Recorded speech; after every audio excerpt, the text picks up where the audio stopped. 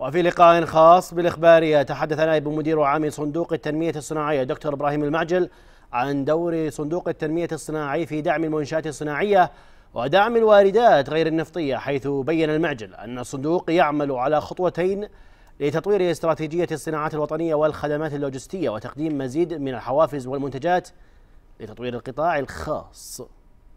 إحنا نعمل على هذا الشيء في خلال خطوتين. الخطوة الأولى نعمل على تطوير استراتيجية الصندوق لتواكب مع رؤية 2030 ما معنى ذلك؟ نعني فيه أن يتحول الصندوق ليكون هو الممكن المالي الرئيس لبرنامج آه، تطوير الصناعة الوطنية والخدمات اللوجستية. والخطوة الأخرى في نفس الوقت نعمل نعمل على تطوير إجراءات الصندوق وتوفير مزيد من الحوافز والمنتجات التناسب القطاع الخاص.